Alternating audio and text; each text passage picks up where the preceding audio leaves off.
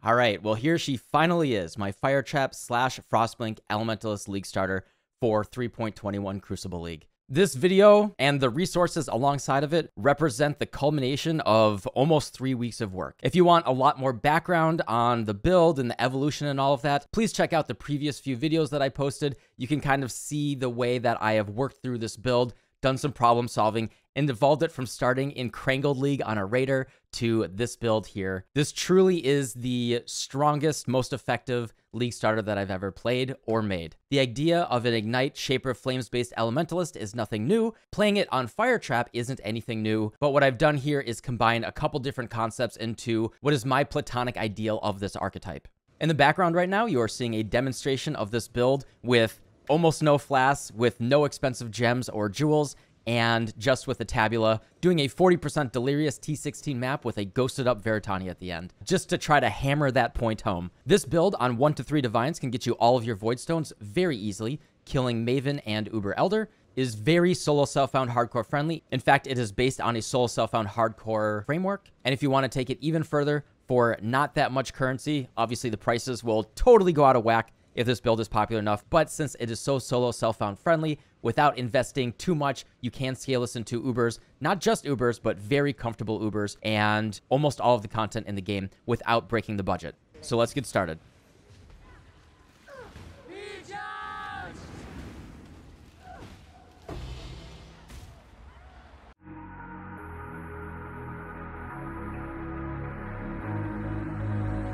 All right, so you clicked on the video, you probably saw the length of it.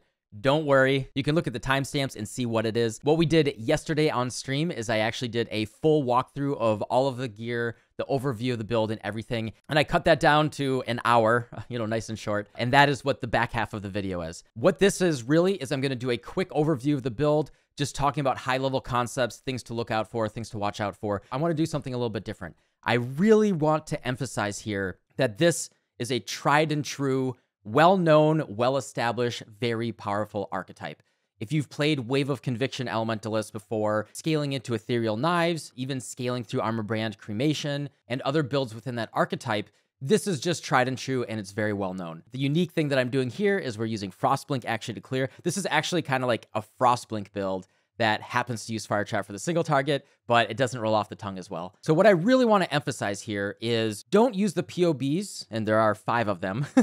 don't use the POBs as rote things to explicitly copy paste. As always with the content that I try to present is I want to make this a teaching opportunity for you to improve your skills and knowledge in the game. So while if you do choose a POB to your taste and you directly copy it, you should have a pretty good time. I really want you to take in the idea that this is a customizable archetype that you can play however you want. You can very easily achieve in solo self-found within a couple days about 5 million dot DPS, which will feel really, really comfortable, all with solo self-found achievable uniques. You can scale it into something very hardcore viable if you'd like to. In fact, I want to show off really quickly right here. In the most recent gauntlet, someone hit level 96 with a Fire Trap Elementalist, that I was actually pleasantly surprised is very similar to what my configuration is. That's obviously spectacular news. This is gauntlet viable, even if you want to play it. Obviously, go that direction, customize it for that. But I want to emphasize that what I'm presenting here is a template for you to customize and play it for your taste. Please don't just try to copy paste exactly what's there without thinking about what is there and why. And that is what the entire back half of the video is. It's just trying to teach you about the items. I go over how to craft them and how you can think about how they go into the build. In the description below are five different POBs. Regarding leveling, we have a drop down right here that takes you all the way from Act 1, Act 2, Act 3, all the way down to at level 69, you can choose a more offensive configuration or you can choose a more defensive configuration. This is more based on the gauntlet version of the build. Then we have a poverty budget configuration, which is at a maximum of 50 to 100 chaos. It's two one alchemy uniques. You know, maybe they're like 10 chaos on league start. Very easy to get uniques and just absolute bottom of the barrel items. This is going to be your starting point, and as you can see, it has 5.2 million DPS at about 50 to 100 chaos invested. Even if the Searing Touch right here ends up being a little bit expensive, you can use two singularities. These things are bottom of the barrel, dirt cheap, still 4 million DPS. You can chance these yourself in solo self-found very, very easily so don't worry about that. We have a low budget configuration. This is between one and five divines. Obviously, the price of the Skin of Lords will totally skew that. Use a regular rare body armor if the Skin of Lords is, you know, difficult to get on League Start. It probably will be, but this is roughly one to three divines. This POB will at least get your Searing Exarch and Eater of Worlds down very, very easily, and is also roughly comfortable for Maven and Uber Elder. And then we have the end game configuration, which is what my build is right now. I can't even estimate prices with this. Obviously, the demand is crazy on League Start. People are going to be sniping things up if this build is popular. You know, I have no control over that. And as you'll see later, I will emphasize how easy it is to craft most of these. This is the aspirational POB, but right now when I put this build together, just for reference, it cost me between 30 and 50 divines. Not cheap, but not crazy. And this configuration can run 100% delirious, everything, whatever you want. You can even customize it to do Wave 30 Simulacrum or whatever you need to do. And this is the aspirational configuration. And as you can see, we also have these unused items here. I encourage you to look at the unused items, do the drop downs here. I don't have pre-configured gear layouts, but I want to encourage you to look at the items that I have in here that are unused that you may want to consider using as alternatives. And then last up is just that POB from the Zizaran Gauntlet right here. This got to level 96 in Gauntlet. Not much more I can say about that. If you want to go really, really tanky, consider looking at something like this. All right. In addition, what I've been working on for the past few days quite a bit. Not just me though, but Havoc616, you know, that Havoc, he's been working with me on the leveling guide right here, been taking his feedback, and he also will have a showcase video that I will have linked in this document right here. It'll also be in the description below. If you want to see one of the best speedrunners in the world playing this build from Act 1 to Act 10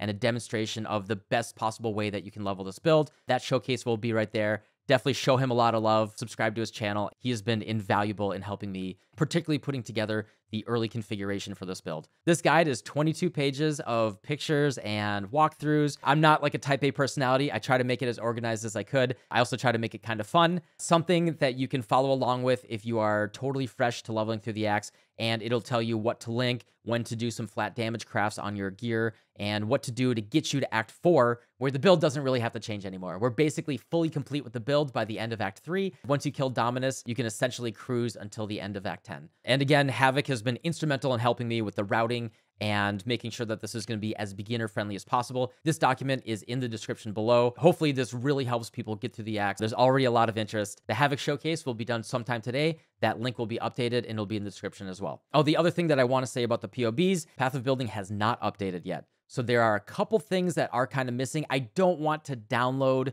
the fake JSON and, you know, make people have to download stuff from GitHub. So unfortunately, at time of recording, these POBs are 3.20. I'll update in a pinned comment and everything when it gets fully updated. All right, that's a lot of preface. I just wanted to show you guys all of the resources that I have available. I really want to hammer home what's most important about understanding what I'm presenting here for the resources, how I want you to think about this build.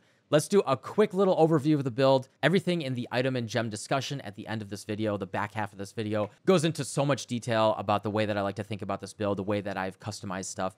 That's really most of the build guide. But let's just do a quick little overview of the build, what makes it tick, and why, you know, my version of it I think is so special. So the key here is we have two primary skills. And luckily, one of them is our mobility skill. Fire Trap is an incredible skill. If you've never used it, what it does is it's a trap. You throw it on the ground. When it activates, it'll do a hit, but then it will leave burning ground below the enemy for 1.75 seconds, and that can be scaled by duration. Since we are an elementalist, we have Shaper of Flames. If you've ever played an Ignite Elementalist, you know, this is the node. What this says is we will always ignite. We don't have to scale crit chance or chance to ignite anywhere else on the tree, which really offloads a lot of the resource investment into allowing us to just go for damage or defense instead of having to get crit chance or chance to ignite. Not only that, but as long as the hit has more fire damage than any other type, then it'll get a 25% more damage multiplier on the ignite, which makes it much, much bigger. So what this allows us to do is by scaling any burning damage, burning, think of it like a rectangle, and then ignite is a square, is a subset of burning, that means that the burning ground and the ignite, as we scale burning damage, like awaken burning damage support right here, they both will scale alongside of each other. It's almost like we're double dipping. So anything that says increased fire damage, increased burning damage, not damage with ignites. Damage with ignites is only the ignite, but anything that says fire burning damage or fire damage over time, that will scale both of those dots. And as you can see, we can hit very high damage numbers by adding up the burning ground and the ignite DPS. And then the other thing that we're doing that is kind of like my unique twist on this is Frostblink is our clear skill. Frostblink actually hits very, very hard. It's actually a legit spell for doing on hit. As you can see, it has very large flat cold damage on it, as well as 180% effectiveness of added damage. And then the unique characteristic that Frostblink has is the cooldown recovery rate will increase as you Frostblink near more monsters, either out of or into packs of monsters.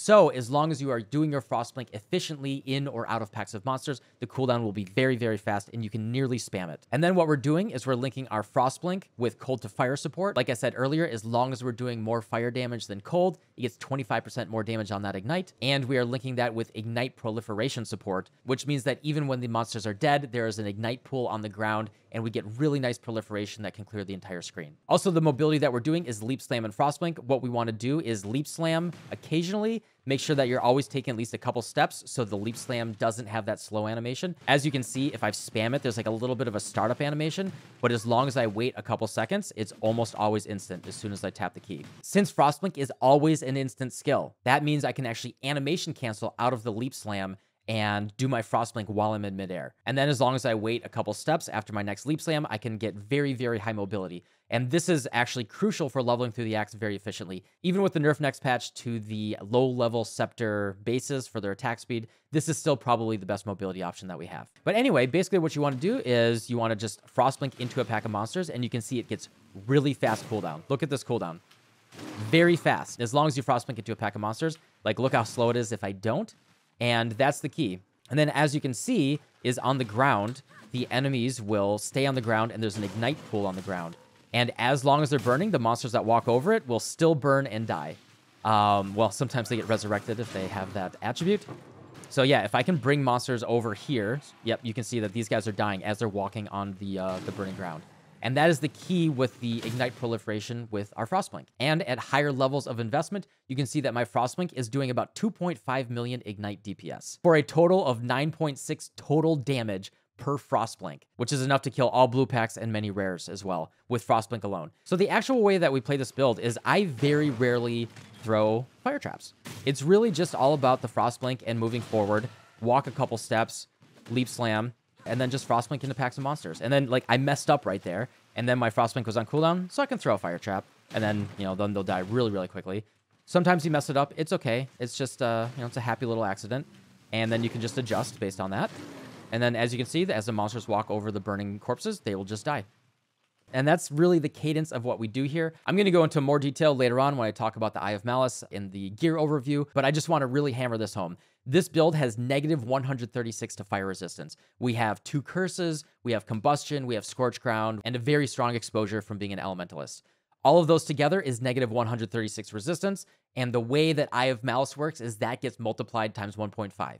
It just multiplies whether it's negative or positive times 50%. So negative 10 res becomes negative 15 res. So negative 136, you know, we're up against the negative 200 negative res cap. So even Ubers that have positive 50 res, they're still going to have like negative 120 something. There are occasional situations where this can kind of bite us, particularly in Simulacrum. You'll run up against monsters, you know, plus 80 res, additional res restrictions, stuff like that, you know, curse immune, whatever. Then they're just going to be a pain in the butt. So you may want an alternative helmet for doing Simulacrum. But besides that, we can do all of the content in the game with generally pretty achievable gear. And yeah, I don't know how much more I can sell this build. You know, it started, I just found Fire Trap in Crane League when I was playing the Raider, and I couldn't find another skill that felt good. Fire Trap by itself, it just scales so much single target. It made Crane League playable for a couple days.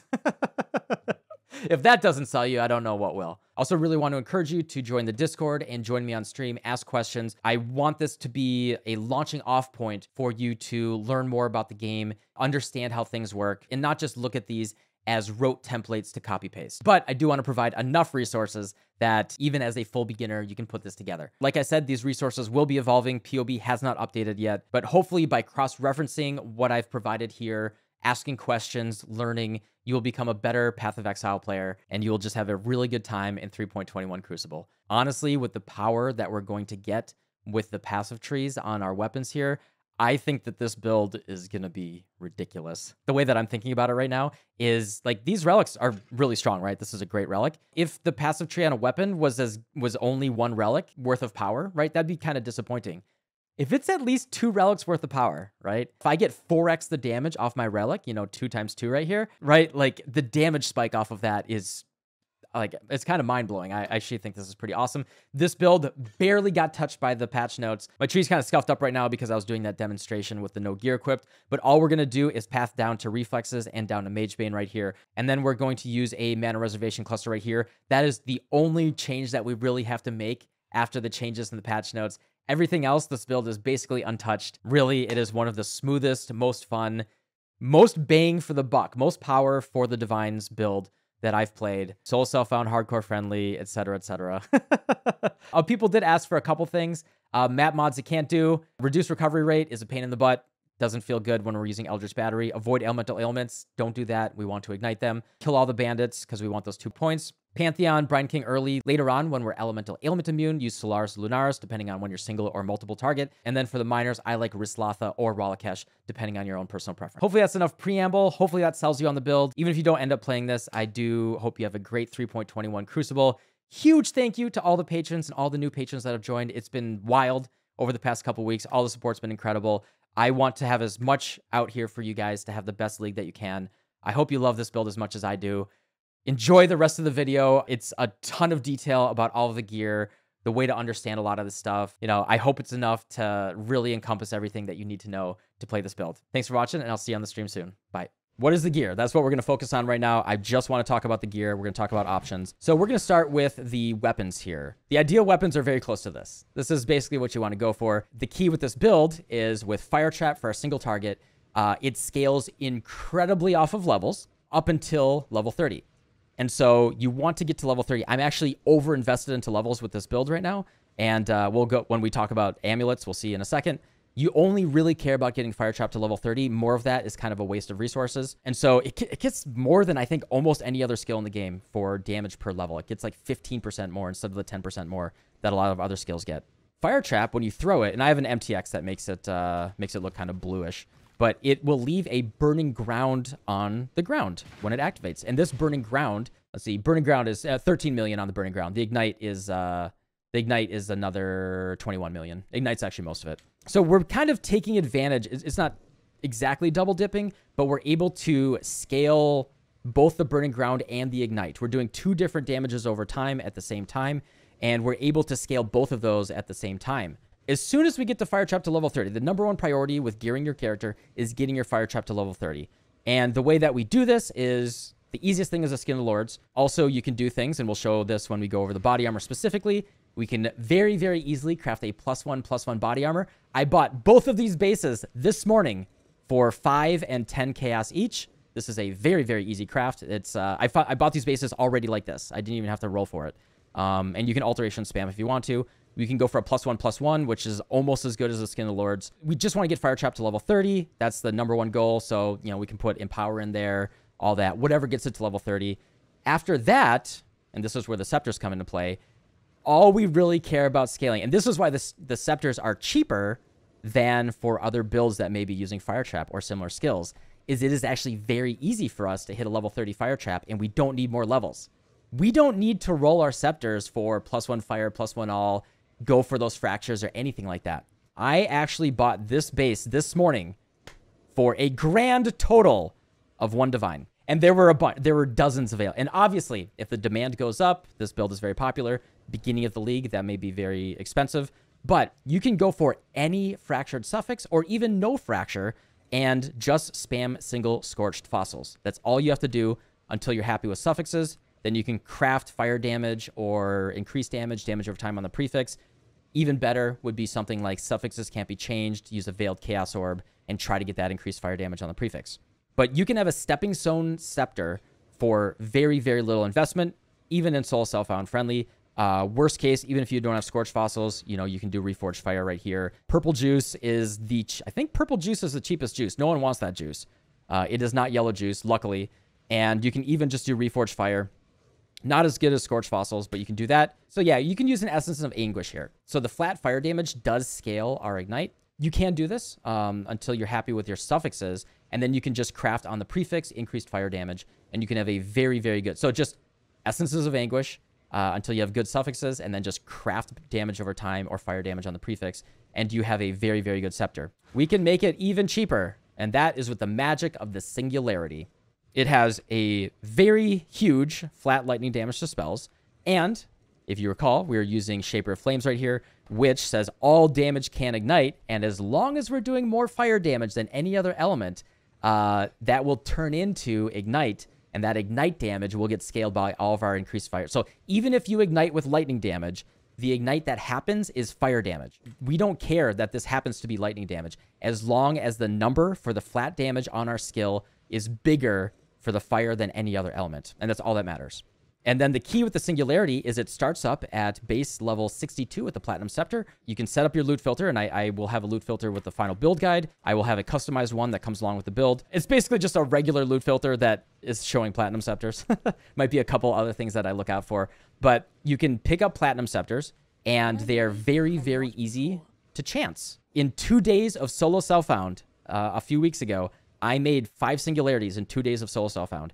Very, very easy to get also has 100% increased damage with hits and ailments.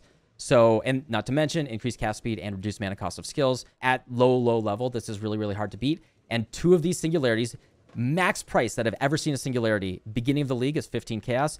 Even if that goes up, you can make your own. It's not that hard to make. You can chance it yourself, and it's not even the best in slot. Now, my friend has been testing this build in solo self-found, and he also called out a, a thing that he saw in the league announcement. I want to call this out is we saw this. Item sells for an additional unique of that base type. So in Crucible next league, you want to pick up every single platinum scepter. Like if you're still looking for singularities, pick up pick up every single platinum scepter. Singularity is the only unique platinum scepter. So if you find that, guaranteed 100%, easy peasy. It is going to be very, very easy to get. Chance orbs are kind of valuable for early map progression, so you might not want to spend those but you can just do that. That's a really great tip right there. I got all of my Void Stones with Singularity. It will carry you to about 5 million dot DPS, but that's about as far as it gets. That's what we want to start off with right there. After that, you're going to set up your trade searches. You're going to be looking for a fractured suffix ideally. Fractured dot multi is the best. You can also go for fractured fire damage on the prefix. That's not too bad. If you find fractured uh, plus fire, if your fire trap is not plus one yet, they're all good. This is the thing is there's so much flexibility and you can have 10, 15, 20 million DPS with scepters that are not as good as the one that I have here. And both of these scepters I crafted myself for about four to eight divines. I don't remember exactly how many reforges I did or how many suffixes can't be changed, but it was four to eight divines for each one of these. These are very close to basically perfect for this build. They're just not that hard to craft. Obviously, the demand on the fracture will go up if the demand on the build is up, but any of these mods fractured is good for you fractured burning damage, fractured fire dot multi, dot multi, damage over time. You know, if you get a high flat fire damage to spells or increased fire damage on the prefix, any of those are good. And then you just basically spam single scorched fossils. That is the easiest thing. Unfortunately, due to the nerf to harvest, um, you can't, if you have extra yellow or purple juice, you can just do the purple juice. Because there is no reforged fire, fire more common, uh, it's like you're it's not going to guarantee you more than one fire mod, right? So this is not the ideal way to do it. Plenty of ways to get fossils in the game right now. Uh, everything from heist, expedition, legion, like I think literally all the content in the game gives you fossils better than delve. But delve is the I think only source or by far the best source of resonators. And resonators do be getting kind of expensive these days, right? So here's what you do is uh you, where are the, the nodes? So you want to take the delve nodes right here. This is the big one. Mining byproducts. Sulfite veins and chests in your maps have a 10% chance to contain an equal amount of azurite.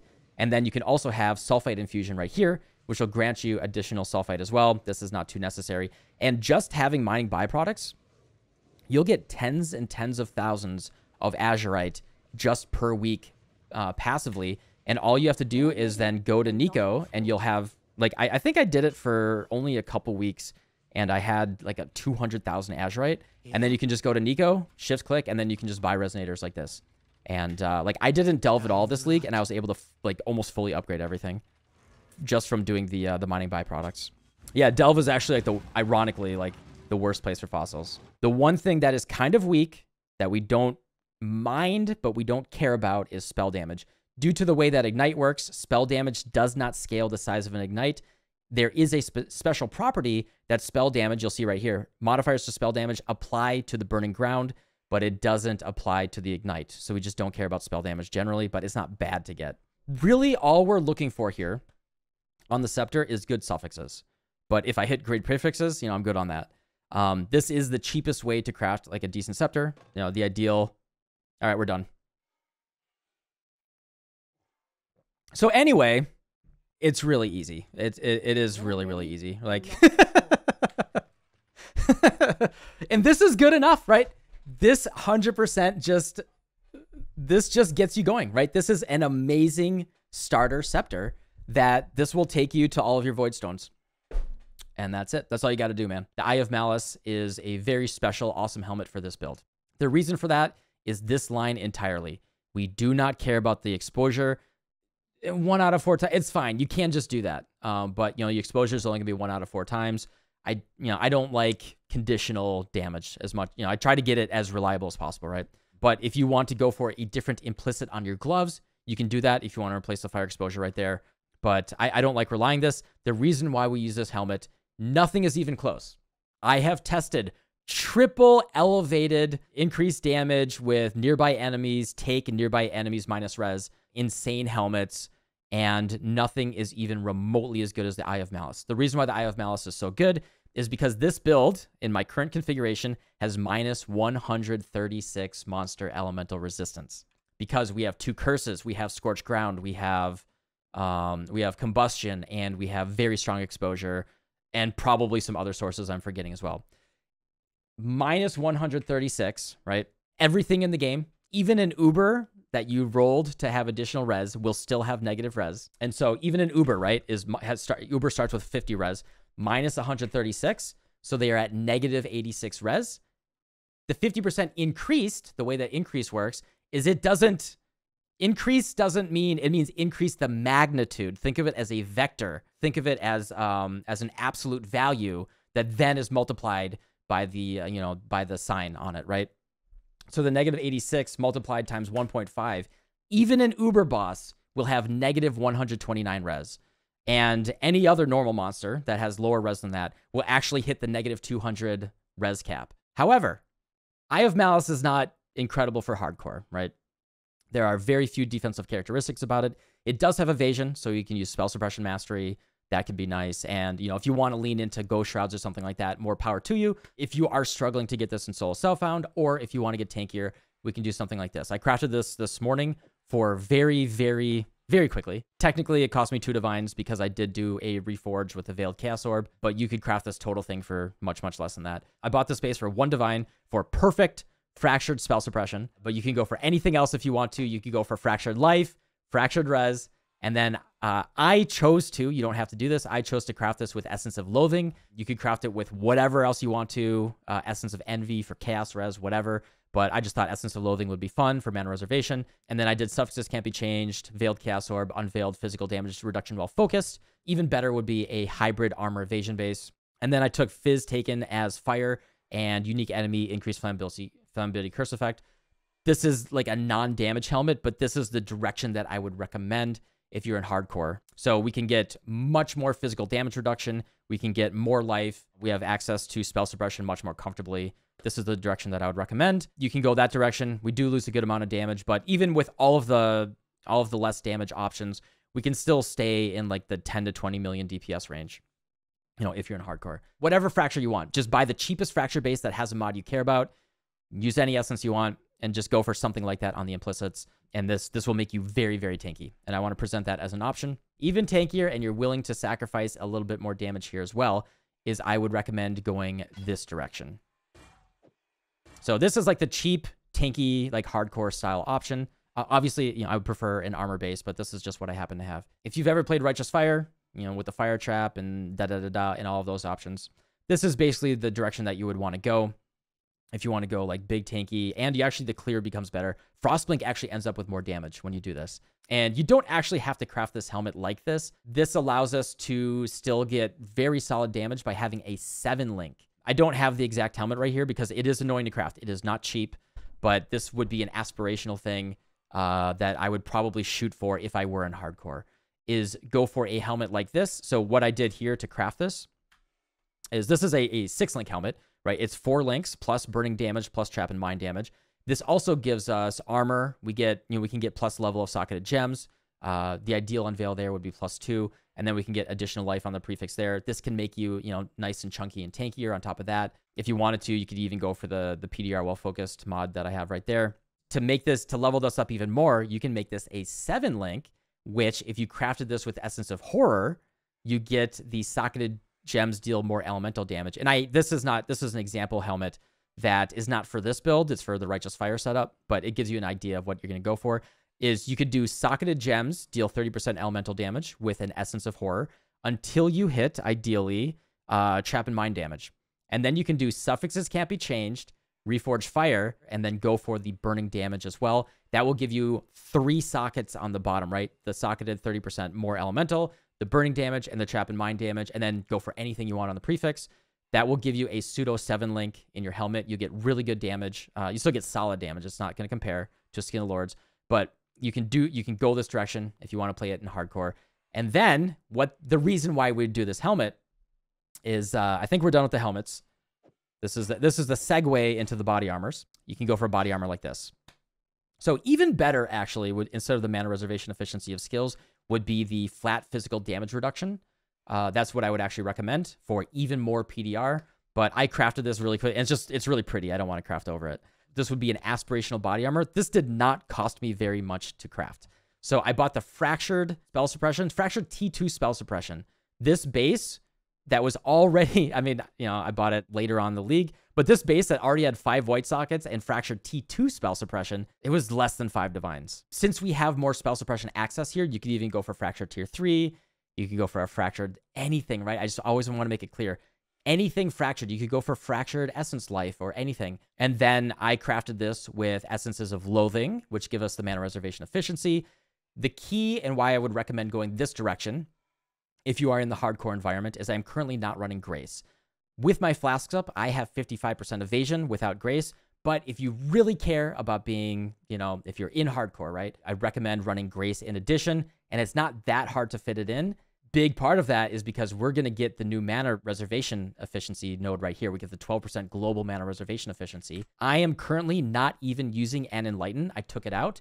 With that mana reservation efficiency and using an Enlighten and crafting your helmet and your body armor with Essence of Loathing, you can fit in Grace in addition to all of the other auras that I'm already running, which is bonkers, right? So you can fit that in.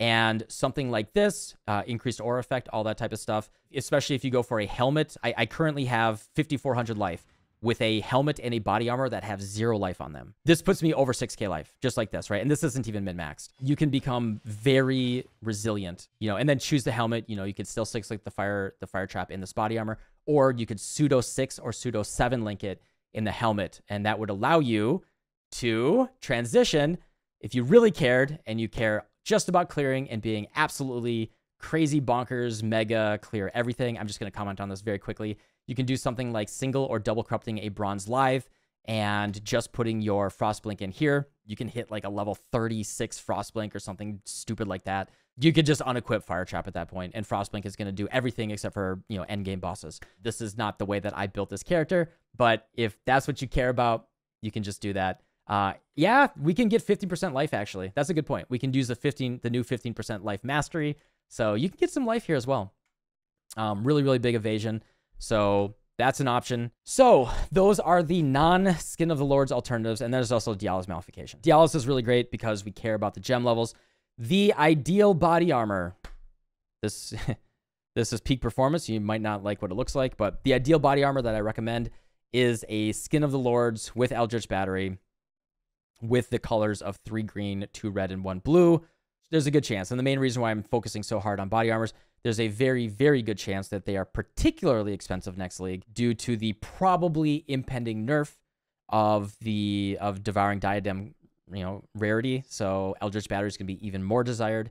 There's going to be, you know, if this build ends up being very popular, you know, hopefully it is. If this build does end up being very, very popular, then, you know, everyone's going to be gunning for this item. And I want to make it very clear that as this is an SSF viable build, there are many, many alternatives and you can do spectacular, great damage, become very defensive by, you know, taking advantage of other things. But this is the best. The reason why Skin Lords is the best, that and it's very, very hard to compete with, is we get a Keystone. Eldritch Battery solves our mana entirely, right? As long as we have enough energy shield, then we don't care about mana cost. We don't have to go craft mana costs on our rings, mana costs on our amulet, da da da. You know, Fire Trap is a pretty expensive skill. Like 103 mana for my Fire Trap, 100% solved with Eldritch Battery. That's one of the reasons. The other one is the 100% global defense is actually really nice. This gives me more armor functionally than even this body armor actually. The 100% global is actually pretty wild.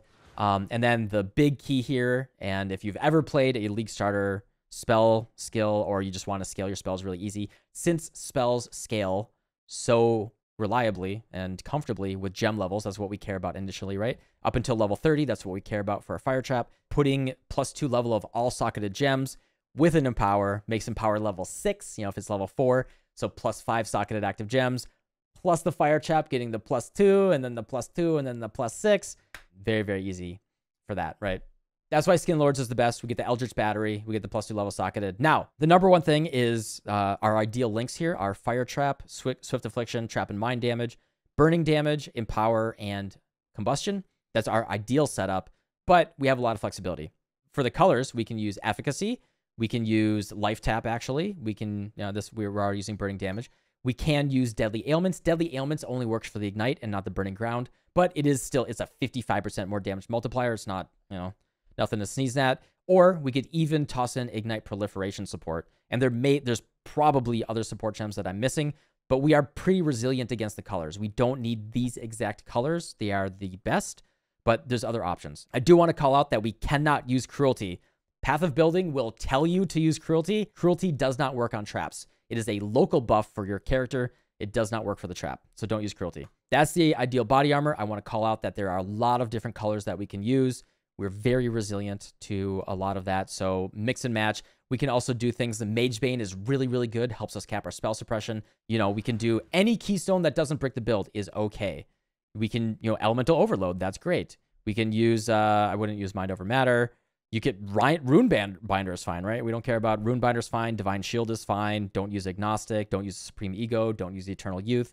The ones that clearly break the build, right? Unwavering Stance is great. You become stun immune. With Call to Arms, you could put Infernal Cry on your left click and then you're good to go as well. There's so many options that are viable. Now, if mana becomes uncomfortable, what do I do? So you're going to need some unreserved mana.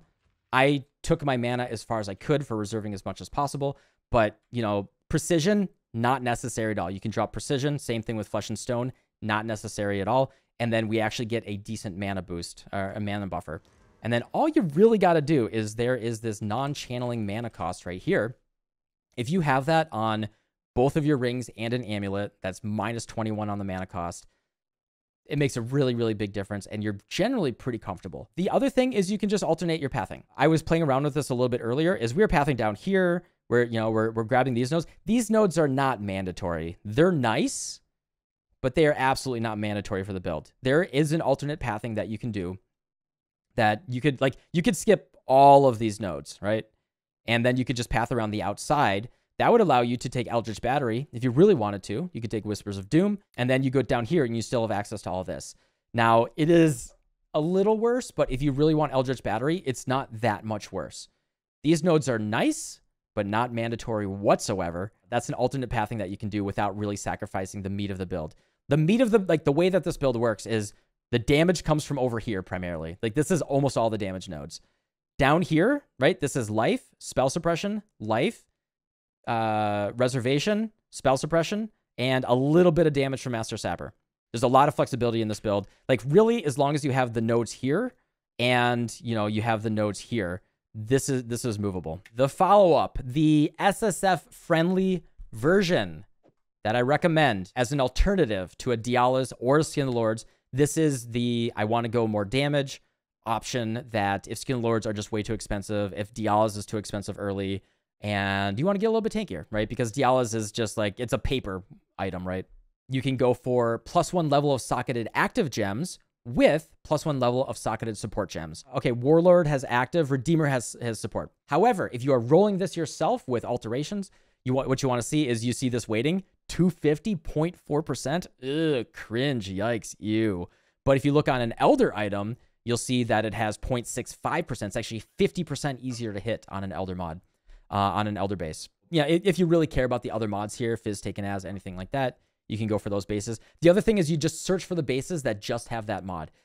It is generally not a very desired mod, and it's not hard to like. I bought each of these bases for less than 20 chaos this morning. Just like no one, no one cares. There's there are dozens of them, and you can alteration spam very, very easily for them as well. And then all you got to do, all you got to do, you just use this magical little Awakener's Orb right here. And these are currently 90 to 100 chaos. Uh, double influenced items are much less popular these days. It's not particularly expensive to make because of the rise of Eldritch uh, bases. So all you do is like your better base, like it doesn't matter which one, ensure that you only have one influence mod before you do this. So make sure there's one that says shapers and only one that says elders on this. You don't want, you know, if you see two elder or two shaper, then you know there's a 50-50 chance what, what it brings over. And then you I got my better base here, the full dragon scale. So I want to keep that. So I click on the conjurer's vestment first and then I click on the full dragon scale, and boom, look at that. I got recover. That's actually pretty decent. Obviously, I would like more life or open anything, but I got recover ES on kill. I got flat physical damage reduction. I get armor. I get evasion. I get the plus one, plus one. And this is very, very usable. Yeah, you could annul it, but this is going to make you tankier actually than a Skin of the Lords. And the damage is going to be pretty comparable. Uh, Skin of the Loyal is also okay. You can get a Skin of Loyal and double corrupt them. Plus one socketed. It has the global defenses. It's it's the weaker version of a Skin of Lords that then you can use a Blessing of Chayula and upgrade, uh, which then is a risk, right? Because you don't know what keystone you're going to get. You could get uh, Supreme Ego or something, and then you're very sad. No, he will not create a guide. It's all a lie. yeah, I'm gonna guys, you have to be here right now. If you don't like, comment, subscribe, and sign up for Patreon and my OnlyFans and my Tinder and my Grindr right now, all of this content disappears. So be there, get there right now. It's gonna disappear. There's a timer. Uh-oh, guys. It's about that OnlyFans. What am I what am I posting? Hey, whatever, whatever you asked for. So next up is we'll do the jewelry. Jewelry is actually really, really easy with this build. The easiest thing right off the rip is we can use the pyre. Pyre is great. It rolls from 60 to 80% increased burning damage. And then by using elemental damage catalysts, we can get that up to 96% increased burning damage. The other really nice thing about the Pyre is since it has cold damage converted to fire damage, that immediately will make our Frostblink do more fire than cold damage because like even though it's only 48% conversion because we're scaling increased fire damage it scales that fire damage way higher than the the cold damage. You know we want to mouse over a Frostblink make sure it's doing more fire damage than cold damage to get that bigger ignite. And then with the pyre we actually don't need cold to fire.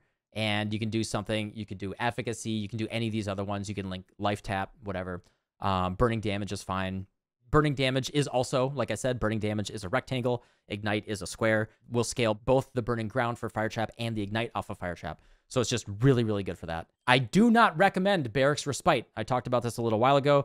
The way that Ignite Prolif works, uh, the, the gem itself, Ignite Pro Proliferation, is the enemy that dies on the ground will still continue burning, and enemies that walk over it will take on that Ignite. Um, it'll spread within the radius of 20, and it will stay there for a duration even after the monster dies, it'll stay there on the ground. Uh, whereas Berek's Respite, it will proliferate. So like if it's dense, Berek's Respite is better because it'll co- constantly proliferate. As soon as the monster dies, if there isn't a monster next to that death, that proliferation is also over. I do not like Berek's. But anyway, Pyre's kind of mid as well. It's very, very, you know, it's a one alchemy ring, but it is kind of mid. Great starter. You can even use two Pyres if you want to, but Better than that is something like this. These are very, very easy to make. I actually have the perfect two examples for the two ways that you want to craft this. So this is the better one, and then this is the cheaper one, where is it? Uh, increased fire damage right here. So these are the two ways that you would want to craft rings right here is you can use a, just buy a fractured base, hit it with some resistance catalyst, and then I hit it with some essences of anger until I was happy with the suffixes. You can buy Fractured Chaos Res. You can buy, buy Fractured anything, right? Look for something that you care about. Hit it with a couple essences of anger until you got nice mods. Craft whatever else on it, and you're good to go. Like this total ring cost was like 60 chaos. This is nothing. And two of these will just feel really good, good res, decent damage, nice to go. And then this is the better, more expensive version. What we did here is I used Essence of Horror to craft the uh, this ring right here. This is with uh, Fertile Catalyst for the life and mana modifiers. It's, you know, the base was still really cheap. Like this is a very, very cheap ring, you know, still like, you know, 20, 30, 40 chaos. Hit it with Essences of Horror. I, I, I just, it was actually just the damage over time multiplier and the lightning res. I did suffixes can't be changed and a veiled chaos orb. I'm a very big fan of veiled chaos orbs. It makes crafting very, very quick. I didn't care if I got a, a veiled prefix or a suffix, just whatever, you know, spent two divines and I unveiled endurance charges and endurance charge on kill and I craft increased damage, and that's it. So like the total cost of this ring, 2.5 divines. This is like the high end ring. Like this is the cheaper one. You know, this is like 100 chaos max, and this is like two 2.5 divines. And that's really all you need to do for your rings. It's uh it's super super easy. And so that's that's the rings there. And then like I said, if you don't have Eldritch Battery on the prefix, I would craft non-channeling skills minus mana cost, and that's it. Super super easy. So this is a very nice amulet. I bought this for 20, 25 divines it just looked really neat and I wanted to have something pretty pretty awesome for a showcase, but it's actually overkill. As I explained earlier, with my current setup, I have a level 31 fire trap. There are pretty stark diminishing returns on the level of fire trap for um, for damage, and we can demonstrate this very very easily. If you look at the damage right here, fire trap 2.567 fire damage per second. That's only the burning ground. It's not the uh, the fire damage. And this is, you know, it's like a 20 20 to 30 divine amulet. It's really, really nice. It's a, it was a cool thing I just wanted to buy. I bought this fractured base this morning for 150 chaos. I just hit it with Scorch Fossils until I hit Fire Skill Gems and increased fire damage. Just Scorch Fossils on a fractured damage over time base that has 150 uh, until I hit Fire Skill Gems and anything else that I liked. Look at the damage 2.56 million. 2.56 million. That's the diminishing returns on the gem levels. It's almost identical. So the dot multi is giving us as much damage as the plus gem level. This is absolutely overkill. You don't need it. You can just do something like this. And like previously, anything fractured on the amber on, on the amulet, right? If you get fractured level of all fire, or you get fractured increased fire, or anything like that, fractured life even, hit it with scorched fossils, hit something like this, you're good to go. If you really want, reserve as many auras as possible, be more comfortable with all that you can always just use an Ashes. Ashes is totally fine. Obviously, for many reasons, I'm not recommending that in the league starter, but it's a fine amulet. Really relieves a lot of mana pressure and, you know, yada yada. But obviously not that that's not the recommendation to go for. Really, just find dot multi and plus one fire. Um, you can craft it yourself, and it's really all you need, right? Like this this thing cost me a total of what what did I say? Like one divine this morning. Yeah, this is great, right?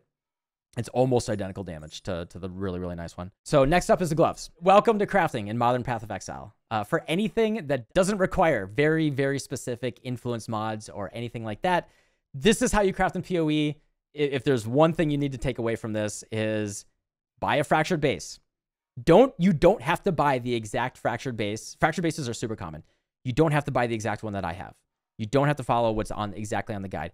With this, right? I could any of those mods, obviously two of those are, are not drop, but any of those mods, if they're fractured, fractured lightning res, if I hit that, I'm happy. Fractured life, you can get even more life. Fractured life, that's great. And then since this is an essence craft, um, this is the high end version. You don't need the socketed high end version, but this is with an essence of delirium right here. What this does is it has socketed gems deal 30% more damage. We have this in our gloves right here. All I did was I bought the fractured base with spell suppression. I think I hit this in like one or two essences. I hit some spell suppression. Then I did suffixes can't be changed, as always, veiled chaos orb. And then I um then you craft conversion on gloves. Before the unveil, you craft conversion to block one of the conversions. That's the highest weight. Convert, you know, phys to cold, anything like that. Doesn't matter which one you craft. I unveiled physical damage reduction while focused. You can go for whatever you want. Um, you know, socketed gem. Socketed gems is probably the best. Socketed AoE gems. That's probably the best unveil for Frostblink damage. And that makes the Ignite from the Frostblink deal 30% more damage. It's a pseudo 5 link. That's all we're going for. And you, you can start lower level without the essence of Delirium. buy a fractured base. Doesn't matter if it has life on it, spell suppression, chaos res, whatever. Cheapest one that you can get. Hit it with a single essence of delirium, and you have a pseudo five link, and you're good to go. If you don't even want an essence of delirium, just use it. You can use an essence of loathing if you want to. Recommended mods is uh, Eater of Worlds. We go for fire exposure on hit. This allows us to not use Wave of Conviction or anything else for exposure. I do know that Eye of Malice has a 1 in 4 chance of doing exposure, but I want I like that 100% chance. And then if you make this perfect, right, you use uh, Orbs of Conflict, it can actually be a bigger exposure, you know, a, a, very big exposure. I think it goes to like 15%, right? Ideally, unique enemy in your presence, fire dot multi, because we just want more damage. It's a bigger number for, uh, you know, for bosses, but you can just go for not while unique enemies in your presence. Just we want the fire dot multi. And that's what I recommend on the implicits. On the gloves, they're very, very easy to make. You know, I spent 2.5 divines on this because I bought a fracture and I used the uh used the veiled chaos orb, but you know, for 50 chaos or less, you can make your own. Like super easy. And then very similarly, I don't know, it's really hard for me to get off of boots like this. And the really nice thing about this build is we don't have to. There's since we're not critting, uh, we don't care about Tailwind, Elusive. Uh, we do like Onslaught. I do like Onslaught here. But these are kind of like the modern fancy boots to me. The Tailwind, Elusive, Onslaught boots, those are the, the old style. Everyone got them, uh, especially if you're a crit-based build. But this is kind of like the direction I like to go these days is um, bought a spell suppression base, you know? But like I said before, you could even go for fractured 35% movement speed. You could go for fractured chaos res, whatever you want to. Shrieking Essence of Torment right here, we want chance to avoid being shocked. The reason is that for that is the Storm Shroud Jewel. If you don't have Fractured Spell Suppression, I do recommend going until you have Spell Suppression. Starting from a Fractured Spell Suppression base, it's even easier. Then I did Suffixes Can't Be Changed, Veiled Chaos Orb, really easy. I think I crafted Increased Life and Unveiled Onslaught. I prefer Onslaught. It just makes everything a lot more comfortable. Onslaught is still in the game next league. They are only removing Onslaught support gem. Onslaught as a buff is still in the game next league. And then the implicits that we prefer are Eater of Worlds, Ignite Steal Damage faster, and Searing Exarch, Scorch Ground while moving. The more minus res that they have, the better enabling the Eye of Malice. And then the reason why we want the chance to avoid being shocked is the modern way to be ailment immune is we use Storm Shroud right here. Modifiers to chance to avoid being shocked apply to all elemental ailments. This makes us immune to Ignite, Scorch, Chill, Frozen Brittle, Shock, and Sap. And so if we have at least 50% here, we can combine that with an Abyss Jewel like this. Uh, and this is actually the Abyss Jewel that I recommend, like almost exactly, is, this is actually perfect. That's crazy. Chance to avoid being shocked just between the boots and the one chance to avoid being shocked right here. I am fully immune to all elemental ailments with the Storm Shroud, just like that. So that solves all of those problems right there. I also really like phasing on kill right here. If you just want to use a quartz flask, you don't, don't need to go for that. But that is the uh, last up, at least for the gear that we equip, aka our equipment, is the belt. And we have a lot of options with the belt right here.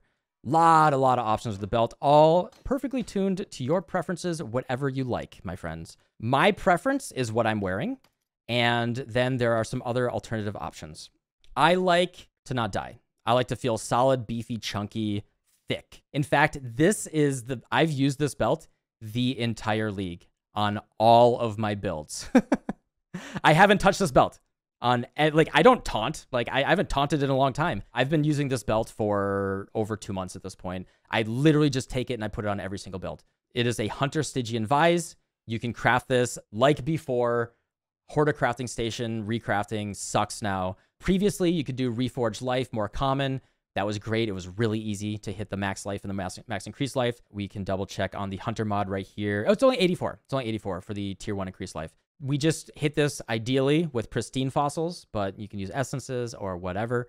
And we just go ideally, uh, you know, fertile catalyst on there, max life, max life, and you know res and strength and all that type of stuff. A thing about this build is it is a little uncomfortable for strength and dexterity, so I do recommend if you land on uh, particularly strength. Strength is the biggest thing that's harder to get. Dex isn't too bad, but if you do hit like a high tier of dex or strength on something, keep that. Do I do recommend keeping that. Stygian Vise, this is my generally recommended thing. There are alternatives. You know, we've seen people play around with this tech a little bit in the past couple leagues is using a micro distillery belt.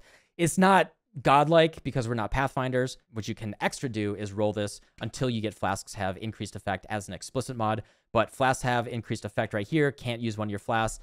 If you don't mind dropping one of your flasks, you can do this. Flasks will be 20% stronger. This in certain situations, if you have just like a Quicksilver, you want to get, you know, you want to tank up a little bit. Uh, this can actually be pretty nice if you roll it pretty hard. I just always want to call out that this belt exists. It's not like I'm hard recommending it. We do like a lot of flasks here, so I'm not like crazy recommending it at this point, but I just want to always remind people that it exists. If you are uncomfortable with trap throwing speed, and like I don't mind this, right? Like you can see this animation speed. We only throw traps on like essences and bosses. That's like it. And like, you know, preloading a strong box. And this is the animation, right? You can I'm, I'm holding walk as I'm throwing it. This is how long it takes. This is the default throwing speed. I don't mind.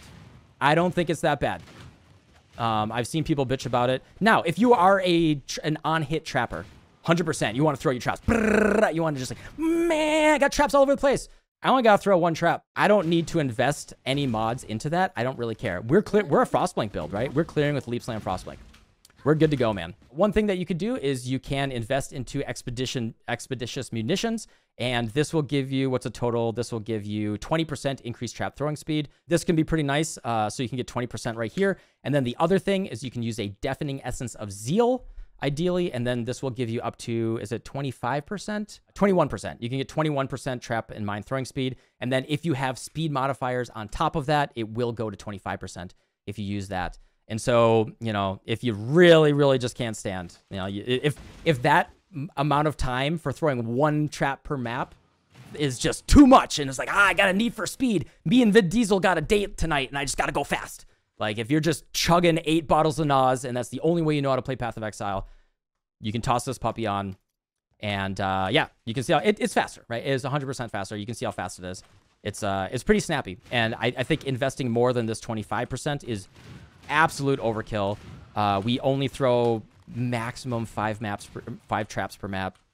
Um, if you really want that, you know, just to demonstrate it again, is you know this is the regular, and then this is with the 25%.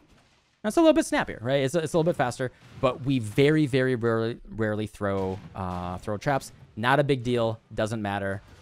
I think it's overkill. And then the other thing, if you just got a need for damage and all you care about is that big, big damn number, that damn number. Olesya's Delight right here is a 1 to 5 Chaos belt, drops from Maven every single time. Everyone does not care about this belt generally because it doesn't offer anything really in, in terms of defensive characteristics. It's a very, very cheap belt.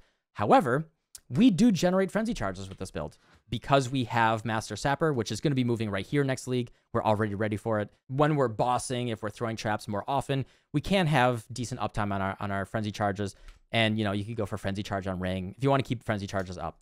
And what this will do is it'll give you plus one max frenzy charges.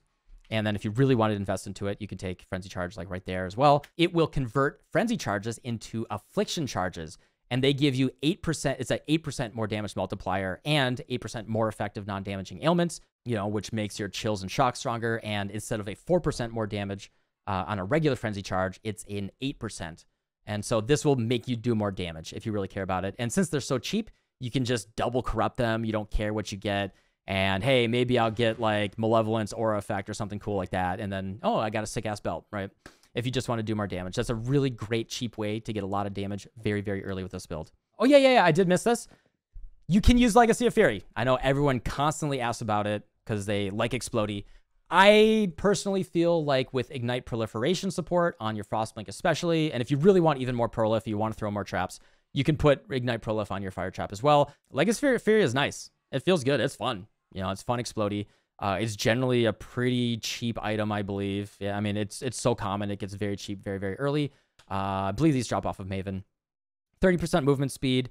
The Scorch, you know, it's a stronger effect of Scorch, gets up to a minus 15. So the Scorch is free. We don't have to do Scorch Ground. But we do lose everything that we have on these rare boots. We lose spell suppression, we lose life, we lose any res. Um, has it got a little bit of res? There's no res on these boots, right? So I mean, if you want some explody, it isn't a, a, source of it, but you know, it's just gonna make the build less tanky. And then yeah, that is all of the how do you deal with ailments when using a unique belt? I mean, you do this. Check this out. Boom, problem solved. Professional tip right here. You can put an abyss jewel in your tree. problem solved. That is all of our equipped gear. And then regarding flasks, we got uh, we got a lot of flexibility. This is my bossing configuration. Just a, a fun thing. Someone in, in a YouTube comment tried to call me out and they expose themselves for being ignorant. They tried to call me out for having two life flasks while I was fighting Uber Eater. This is actually what the best players in the world do is they use a life flask that doesn't have a suffix. And what that allows you to do is I can sit here and press it, right? And as long as I have full life, I can spam this flask and it will never consume. And so what I'm doing is I have my instant flask right here, but this flask, I can just spam it. And so when I, I can just walk through Uber Eater tentacles, and as long as I'm spamming my life flask, then I actually just won't die because I'm just always able to hit them. And then I actually like using Soul of Ryslatha, Ryslatha, which allows me to just, I have, I sustain my life flask very nicely while I'm bossing. Yeah, you can just have a spammable flask. And that's, that's what I like to do while I'm bossing. Uber Eater, I like to have a Topaz flask. But my general layout, like at the high end, I like doing something like this. Taste of Hate's really, really good. It's, uh, I think it's just an underused flask even for people that aren't doing physical damage. Not to mention 20% less cold damage taken. I think this is just an amazing flask to use for PDR. At the high end, Progenesis is like the best flask in the whole game. As long as you have good life recovery, you are just 25% tankier. So an armor flask on the granite and then Quicksilver here, you know, whatever if you don't have phasing on a, an Abyss Jewel, I do recommend something like a Quartz Flask. Any source of phasing, I think, is pretty incredible. Other thing, if you don't have a Progenesis, something like that, we do have a decent amount of evasion. You can see with no grace or anything, currently I have, where is it? 54% evasion, right? Like, that's nothing to sneeze at. And like I said earlier, if you go in the more defensive, hardcore, viable direction, you can craft your essences of loathing, all that, and you can actually sneak grace in an addition. And then you're like 75, 80% evasion if you want to go like the hardcore direction. But this is the layout that I like for like general mapping like this. There's other stuff you can use. You know, Oriath's End is fun. It's overkill, but it can be nice if you're doing like 100% Delirious. That Explodey does really help, you know, when the monsters are, you know, not wanting to die. It's a pretty pretty nice flask, but it's a luxury flask, of course. I recommend no matter what build you play, no matter what you're doing, whenever you're doing it, Progenesis, basically put it into every single build that you can. But obviously that's, you know, luxury flask, but later, but it's like the best flask in the game. And then this is like my general setup that I would recommend going for. The PDR from Taste of Hate, I think it's, it's just too good, right? I think it's awesome. And there isn't really another flask. You know, if, if you're low on damage, you know, use a sulfur flask, do whatever. But uh, this is generally what I what I like to recommend here. So Cluster Jewel, very, very flexible. So we have uh, this one, I just had it and, and it was like fine can go for fire damage or elemental damage, cluster jewel base. The main reason we're using a large cluster jewel, we don't get that much out of it, right?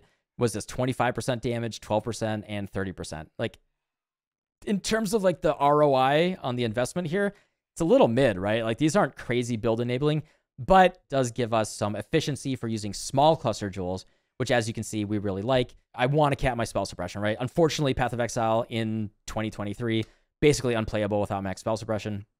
So we're using a small spell suppression jewel right here. And then because of the loss of reservation efficiency masteries, like we lose the Skitterbots one right here, we are going to use a small jewel as well for mana reservation efficiency. We can do Malevolence here. We can do Determination here. And then you can go for a different enchant on your helmet. So I'm using the Determination enchant, but interchangeable with that is you could go for Malevolence enchant, and then you could go for determination here. So there's diminishing returns as you invest into it, right? So you want to have like initial mana reservation efficiency per, uh, you know, per aura. So, you know, malevolence here, determination here, or vice versa, something like that is going to be how you're going to, um, yeah, Flesh and Stone is also good, but Flesh and Stone is a smaller aura. So I'm not like, not super, super, you know, it's only 25%, right? So you don't get that much out of it. In terms of the small jewels, this is very close to best in slot. You want fire damage, damage over time, increased damage, increased life, and then damaging ailments deal damage faster. That's the big one that you're going to be going for. Definitely have a corrupted blood jewel, of course. Find a jewel that has fractured fire dot multi. Find a jewel that has fractured maximum life. Hit it, just hit it with scorch fossils. Hit it with reforged. Uh, don't do reforged life. That's like you'll get like totem life. Like reforged life is really really bad in jewels, but just using scorch fossils or even even you can use reforged fire and uh, you'll, you'll hit decent things. Um, that's like more SSF. Otherwise, just search for it.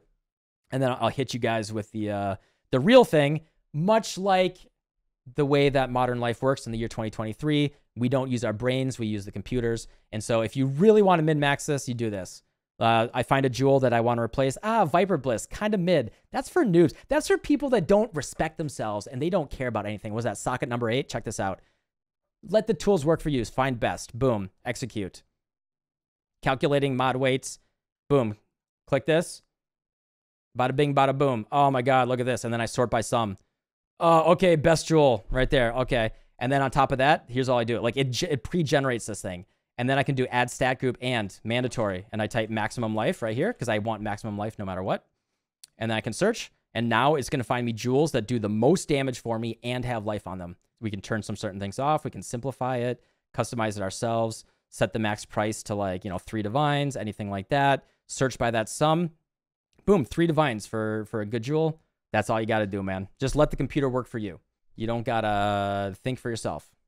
Welcome to, to modern Path of Exile. Path of Building solves all of it for you. This is very close to a complete build guide. I mean, I can just quickly go over the uh, the gems here. We're using Infernal Cry because it covers enemies in ash, which makes them take 20% increased fire damage. Also, it makes them explode, so that's really good for clear. Vitality, really nice for life regen. Precision just gives us a little bit more crit chance. Uh, procs Elemental Overload. We also get more damage with more auras. That's This is very luxury. Phantasmal Leap Slam with faster attacks. Ele Weakness, we're to manually cast Ele Weakness and Flammability. Anomalous Flammability is the best. Skitterbots, they do they do chill and shock, and they give us 10% more trap damage. Uh, Molten Shell linked with cast damage taken, level 10 Molten Shell with level 1 cast damage taken. Like I said earlier, Fire Trap, Swift Affliction, Burning Damage, Empower, Combustion, and Trap and Mine Damage. You can use all of these as well. Efficacy, Life Tap, whatever. Then in the gloves with the socketed 30% more damage over time multiplier, we do Frostblink. Divergent Frostblink is ideal, but no big deal. The most important thing is a level 21 Frostblink. 21-0 Frostblink is better than a 2020 Divergent. So, you know, just prioritize it that way. Gem levels are everything for our damage. Anomalous Combustion is the best. You can use the normal one, of course. Cold to Fire, if you don't have a pyre, use Cold to Fire. But if you have a pyre, you don't need Cold to Fire because you do more fire without the pyre. You only need Cold to Fire if you don't have a pyre. And then Anomalous Ignite Proliferation Support, just bigger explosions. And then uh, Malevolence, Flesh and Stone, and Determination for our auras right here. Later on, next league, uh, we do have access to more mana reservation efficiency. Actually, with this build, we luckily just took a slap on the wrist. So I think it will be possible to also fit in Grace. Forbidden Jewels, I don't think there's a Forbidden Jewel that we really care about. I mean, Nine Lies if you if you really care, but nothing on Necro. We don't care. We uh, we don't care about anything else that we don't have on Elementalist. If you really wanted to, you could use a flammability on hit ring with Profane Bloom. If you really care, but like you lose two jewel sockets, right? And I'd rather have two jewel sockets to make me do more damage and you know use Legacy of Fury or something. Unholy Authority is okay. Um, plus one curse is okay because then you can change your anoint. we do fairy. use Whispers of Doom. I, I, did miss that. We use Whispers of Doom for our anoint. If you get a plus one curse somewhere else, Unholy Authority, a corrupted amulet, or you path over here and you grab Whispers of Doom, then you go for uh, deadly techniques down here. All right. I know it was a little abrupt cutoff right there, but that was about the end of, I think, what we need to talk about there for the gear that goes into the build. Uh, the gems should be pretty self-evident from what I've said right there and what is in the POBs. Again, if you have any more questions, please join the Discord or ask me on stream. I really want to see you guys have the most kick-ass league start that you can just something comfortable, something successful, and you can have a lot of fun in 3.21. So thanks for watching again. Huge thanks, as always, to all the patrons and all of you guys. Really appreciate all the support that has been pouring in over the past few months, especially. And uh, yeah, can't wait to see you guys in the Crucible. Goodbye.